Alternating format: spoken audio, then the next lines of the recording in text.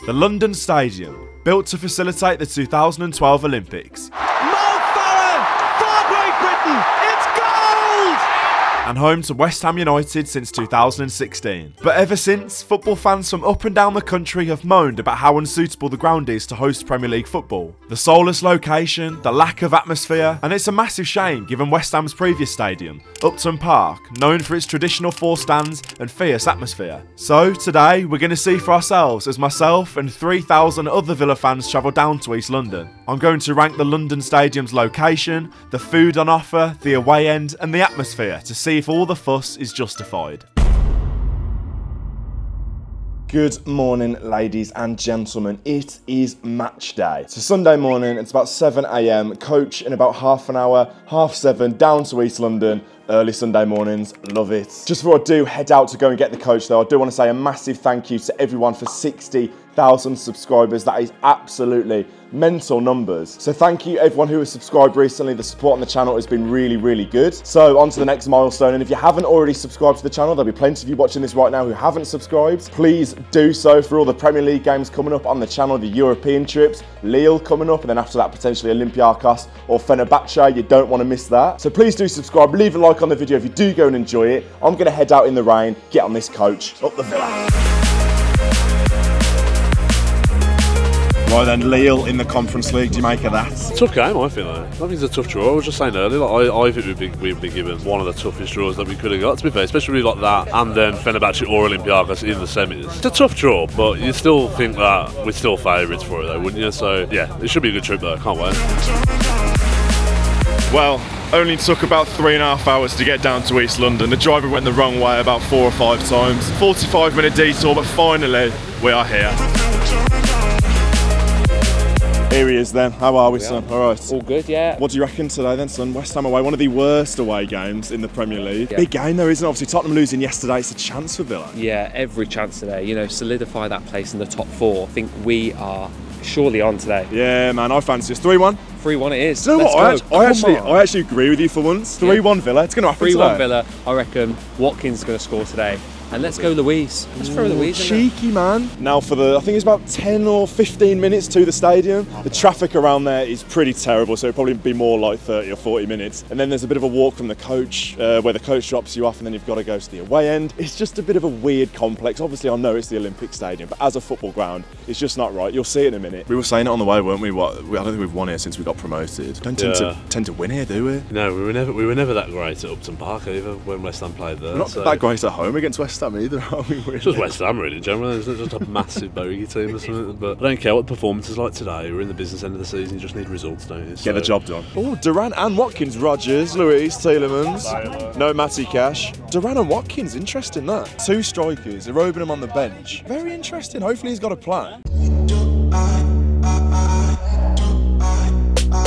Here we go then, is the stadium. Just got off the coach. The absolute delights here. Absolutely beautiful coach park. Piles of crap everywhere. Nice. Location wise then, this place gets a 1 out of 10. Honestly, like, I actually hate coming here. It's an absolute ball ache for driving. To be fair, it's always on a Sunday, so we never tend to get the, like, the train or the tubes or anything like that, so that might be a little bit better. It's just crap in it. I mean, it's so modern around here, obviously, new buildings for the Olympics, everything like that. Just a ball ache to get to. Bring back Upton Park. Honestly, I hate it here. Honestly, I hate it. Why? I just hate it. It's just everything about it. The ground is not a football stadium. They've done their best, but it's not a football stadium. Like, honestly, away days at Upton Park were, were class. I never went. I never went. I loved Upton Park. I loved it. And I'd come here. Like, okay, it's a modern stadium, but it's not equipped. It's just not equipped. Oh. I'm not a fan. I'm so gutted I never went to Upton Park. So gutted. Any Villa fans who campaign for a new stadium or would be like, yeah, I'd have a new stadium, let's move out of Villa Park.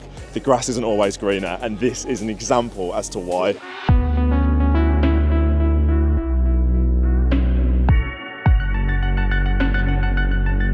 Weird this is, isn't it? Weird this is. I know it's where they retract the running track and stuff, but it's just bizarre. Absolutely bizarre.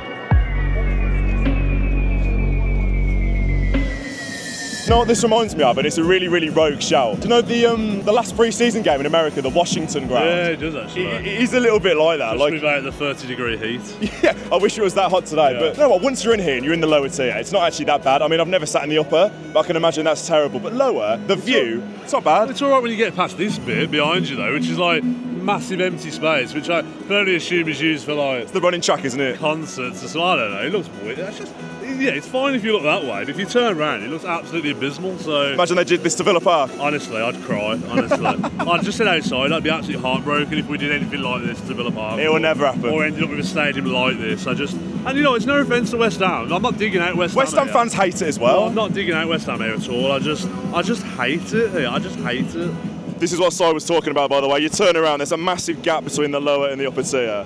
Absolutely bizarre. So, so weird. So then, prediction. I'm going to be confident. I'm going to go with what Jamie says every single week. 3 1. I fancy us. West Ham have got a few dangerous players, I think. With Moreno and Rogers starting on that left hand side, Kudus might get a little bit of joy. Ward Prowse on the bench. I like that, to be fair, because he scares me a little bit as well. So that's something to be wary of today, 100%. I think Duran, lovely to see him get a goal the other night. Hopefully, he can do the same again today. Watkins obviously starting as well after his injury. That is absolutely massive. It's a very interesting team. I fancy it. Hopefully, we get the job done today. 3 1. Come on, boys.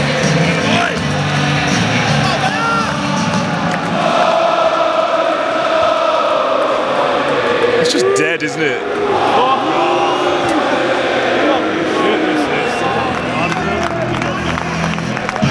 No, John McGinn, Supremi Martinez is the skipper. I like it. We're playing it again because the atmosphere is so dead. They've got to play it multiple times. Come on. Yeah, yeah, come on then, Villa boys! Bruno Emmy's Glam Army! Bruno Emmy's Glam Army! Shit support, Villa! Shit support! You sold your soul for this shit hole! How dead's this? Proper, proper dead. No, come on. We've got to wake up down our left hand side, by the way. Moreno and Rogers look a little bit nervous, which is what we said before the game.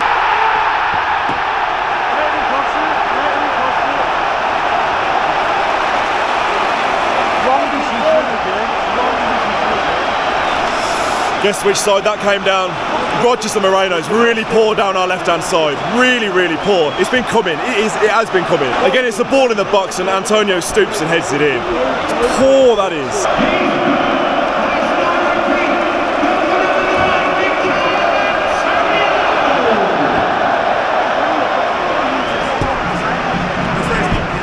We're not very happy bunnies, are we? I think I talked about it before the game. Moreno and Rogers down that side as well. The midfield, we're losing out there. It's all slow. You're losing the energy of John McGinn. Got to make changes at half time, and we're. I just don't think it's worked. It? I, I really don't think it's worked. I was I was a little bit worried before the game, thinking we've just got Tielemans and Luiz in midfield, and we're just not. The problem is the midfielders are not providing the options to the defenders to move the ball, and we're just stuck. We keep losing the ball. We keep giving it away. Rogers is struggling down the left hand side with my right. Yeah, talk, talk about the goal. It obviously comes from that. Rogers slow to close down, ball swung in, poor defending. But Antonio stoops down Yeah. real low to head the ball in. It's frustrating. West Ham have done nothing apart from that. They're not great, are They're they? not. They're not. And like, I just think like we started well the first like 15 minutes Yeah. or so. We were moving the ball well. We looked the you know the brighter side, but we lost our way as the half went on. And I'm just you know Jhon Duran's not been in the game at all, has he? And you know our threat looks like it's going to come through Leon Bailey Yeah, he's the Uh, brightest. He's the brightest. He is, but I'd be surprised if the manager doesn't make a change at half time. I mean, just, the interesting thing is he always bigs up Tim, and then in a game like this, you think he'd be ideal. If you're going to play Rogers, you play Digne as well.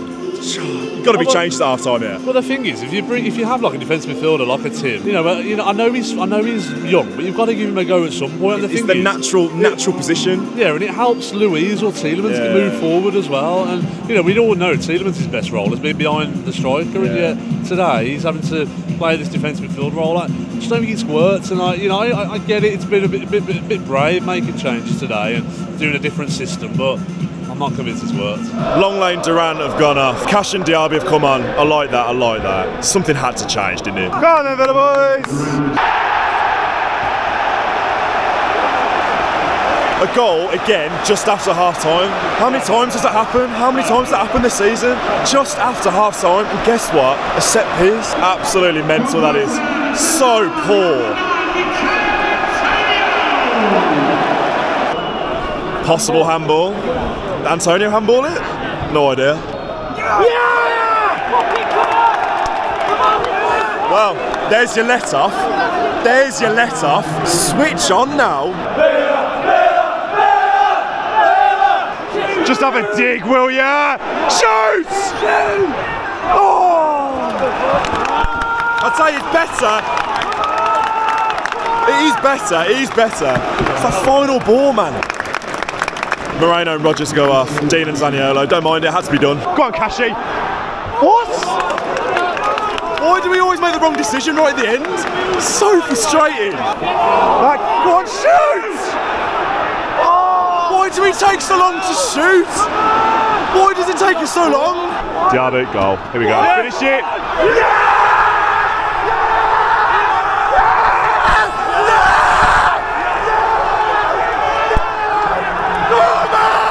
Yes! Get in there! Get in there! He looks lost now, bloke. Get in! Come on! Come on!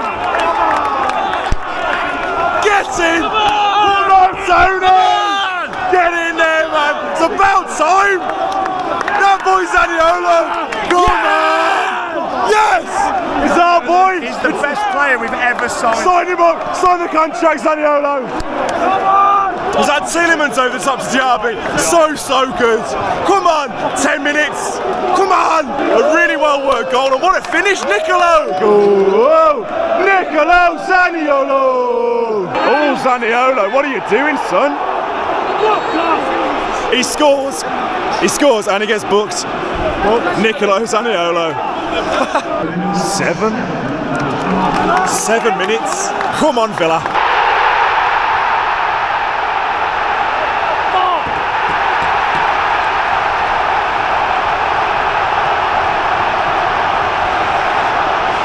You've got to be kidding me.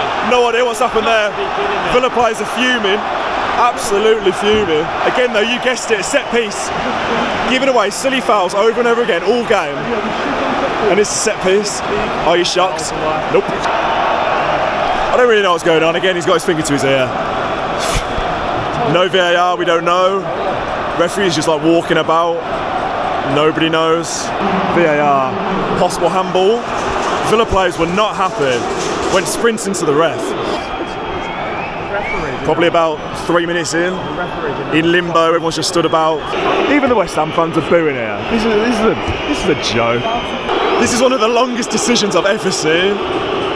Pushing about five minutes now. Free kick was on 94. We're now on nearly on the 100th minute. Nearly on the 100th minute. Here we go. Yeah. Oh, After all that, and then he gets sent to the monitor. Why is it taking six minutes to go to the monitor?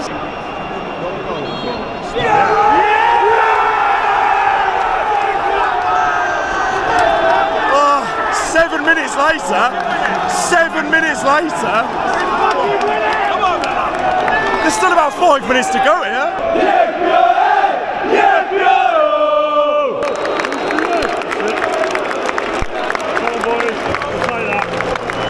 What a mental game. Could have gone either way, to be fair. It's one of them where you run and take the point. The two disallowed goals, who knows? I haven't seen them. Potentially a little bit lucky, I don't know. Could have gone either way in the end. We had chances. Just one of them games, I think. Just keep ticking along, keep the points coming. But not a bad point, that.